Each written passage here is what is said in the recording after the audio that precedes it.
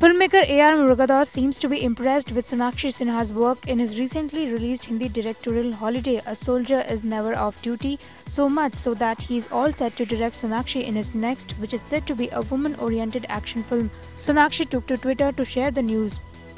It's official, my next is a woman oriented action film directed by the genius behind Ghajini and Holiday, that is Murugadoss. We start in November. The project is expected to go on floors in November. This will be the second time Sonakshi will be teaming up with him after Holiday. Reportedly, Sonakshi will get a training in martial arts for the role. Meanwhile, Holiday, which was a remake of Murugadoss's own Tamil film Thuppakki, has raked in good moolah in its opening weekend in the country. IANS report.